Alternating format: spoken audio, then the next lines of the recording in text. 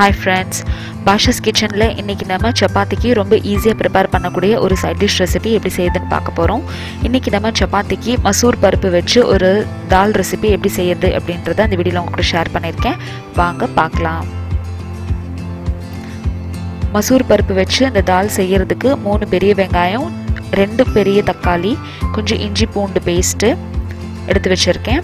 மசூர் பருப்பை நல்லா வாஷ் பண்ணிவிட்டு ஒரு பத்துலேருந்து பத்து நிமிஷத்துக்கு தண்ணியில் இந்த மாதிரி ஊற வச்சுருங்க. காரத்துக்கேற்ப ஒரு பச்சை மிளகாவும் எடுத்து வச்சுருக்கேன். மசாலாவில் பார்த்தீங்கன்னா வெறும் மிளகாத்தூள் தனியாத்தூள் கரம் மசாலா தூள் ஜீரகத்தூள் அப்புறம் வந்து மஞ்சள் பொடி உப்பு எடுத்து வச்சுக்கோங்க.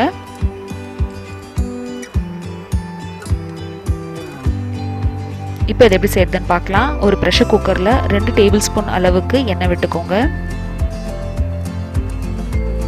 எண்ணெய் சூடானதும் ஒரு பாதி பட்டை ரெண்டு கிராம்பு ஒரு அரை டீஸ்பூன் அளவுக்கு ஜீரகம் சேர்த்துக்கோங்க. இப்போ நறுக்கி எடுத்து வச்சுருக்க வெங்காயத்தை சேர்த்துடலாம்.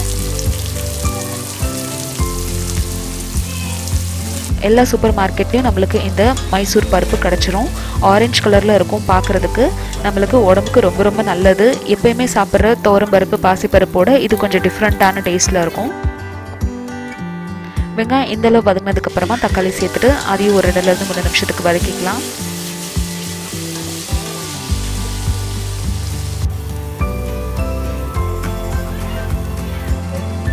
வெங்காயம் தக்காளி இந்த அளவு வதங்கினதுக்கு அப்புறமா எடுத்து வச்சிருக்க இஞ்சி பூண்டு பேஸ்ட்டு சேர்த்துருங்க. இஞ்சியும் பூண்டும் இங்கே நான் தட்டி சேர்த்துருக்கேன். உங்ககிட்ட பேஸ்ட்டாக இருந்துச்சுன்னா அதுவும் சேர்த்துக்கலாம். கொஞ்சமாக கொத்தமல்லி உப்பு மஞ்சத்தூள் வெறும் மிளகாத்தூள் அப்புறம் தனியாத்தூள் ஒரு அரை டீஸ்பூன் அளவுக்கு ஜீரகத்தூள் ஒரு டீஸ்பூன் அளவுக்கு கரம் மசாலா தூள் சேர்த்துக்கோங்க. இந்த மசாலா எல்லாம் சேர்த்துட்டு எல்லாத்தையும் நல்லா மிக்ஸ் பண்ணி விட்டுக்கோங்க. மசாலா அடியில் பிடிக்காமல் இருக்கிறதுக்கு கொஞ்சமாக வந்து நம்ம தண்ணி விட்டுக்கலாம்.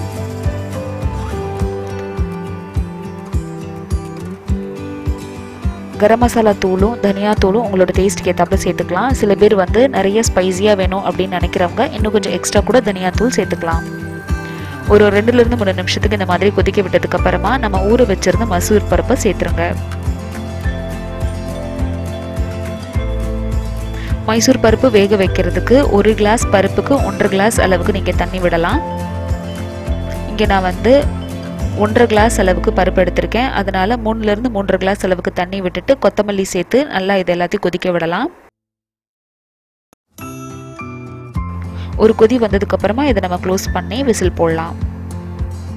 நல்லா கொதிச்சிருச்சு. இப்போ வந்து நம்ம லெட்டை க்ளோஸ் பண்ணி ரெண்டு விசிலில் ஆஃப் பண்ண போகிறோம் ரெண்டு விசிலுக்கு அப்புறமா ஒரு அஞ்சுலேருந்து ஏழு நிமிஷத்துக்கு அப்புறம் நான் இந்த ப்ரெஷரை ரிலீஸ் பண்ணி விட்டுட்டு இப்போ ஓப்பன் பண்ணுறேன் பாருங்கள் நம்மளோட chapati easy side dish recipe Mysore பருப்பு தால் ரெடி ஆயிடுச்சு இந்த ரெசிபி உங்களுக்கு பிடிச்சிருந்துச்சுன்னா இந்த வீடியோக்கு லைக் கொடுங்க. இந்த சேனல் ஃபஸ்ட் டைம் பார்க்குறீங்கன்னா கண்டிப்பாக சப்ஸ்கிரைப் பண்ணுங்கள் இதை இன்னும் டேஸ்டி ஆக்கிறதுக்கு இன்னும் ஒரு ஸ்டெப் இருக்குது அது என்ன அப்படின்றது இப்போ நான் உங்களுக்கு சொல்கிறேன் ப்ரெஷர் குக்கரில் இந்த மாதிரி தாலை செஞ்சதுக்கப்புறமா நீங்கள் அப்படியே சர்வ் பண்ணுறதோட இது வந்து சீசன் பண்ணிவிட்டு நீங்கள் வந்து சர்வ் பண்ணிங்க அப்படின்னா தால் வந்து இன்னும் நல்லா டேஸ்டியாக இருக்கும்.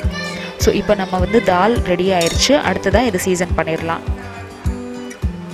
தாளிக்கிறதுக்கு ஒரு பேனில் ஒரு டேபிள் ஸ்பூன் அளவுக்கு நெய் விட்டுட்டு கடுகு போட்டு தாளிச்சிட்டு ஜீரகம் சேர்த்துக்கோங்க. ஒரு டீஸ்பூன் அளவுக்கு பெருங்காயத்தூள் சேர்த்துக்கலாம். இப்போ இதில் கொத்தமல்லி இலை சேர்த்துட்டு இந்த தாளிப்பை வந்து நம்ம தாலில் சேர்த்துட்டோம் அப்படின்னா இன்னும் நல்லா டேஸ்டியாக இருக்கும். இன்னும் நல்லா நம்மளுக்கு ஸ்பைஸியாக வேணும்னு நினைக்கிறவங்க இந்த ஸ்டேஜில் ரெண்டு காஞ்ச வத்தல் சேர்த்துக்கலாம். இப்போ இந்த தாளிப்பை நம்மளோட தாலில் சேர்த்துருங்க. எப்போயுமே ப்ரெஷர் குக்கரில் நீங்கள் தால் செய்யும்போது கடைசியாக அந்த மாதிரி தனியாக தாளித்து விட்டுட்டு அதுக்கப்புறமா சர்வ் பண்ணிங்க அப்படின்னா ரொம்ப டேஸ்டியாக இருக்கும் நம்மளோட தால். கண்டிப்பாக ட்ரை பண்ணி பார்த்துட்டு எப்படி வந்துச்சு அப்படின்றத நான் கமெண்ட் செக்ஷனில் சொல்லுங்கள் இதே மாதிரி சப்பாத்தி சைட் டிஷ் ரெசிபிஸ் உங்களுக்கு வேணும்னா கீழே டிஸ்கிரிப்ஷன் பாக்ஸில் லிங்க் பாருங்கள் அண்ட் இந்த ரெசிபி உங்களுக்கு பிடிச்சிருந்துச்சுன்னா இந்த வீடியோ லைக் கொடுங்க. சேனல் ஃபஸ்ட் டைம் பார்க்குறீங்கன்னா கண்டிப்பாக சப்ஸ்கிரைப் பண்ணுங்கள் இப்போ இதை நம்ம டிஷ் அவுட் பண்ணிடலாம்.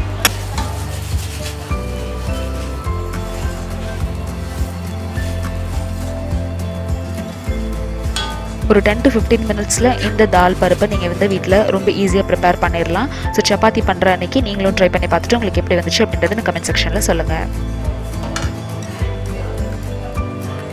இதே மாதிரி ஒரு இன்ட்ரெஸ்டிங்கான இன்னொரு வீடியோவில் அதாவது தென அரிசி மாவு வச்சு சப்பாத்தி எப்படி செய்யுதுன்ற வீடியோவில் உங்களை வந்து சந்திக்கிறேன். தேங்க்யூ ஸோ மச் ஃபார் வாட்சிங் பாய்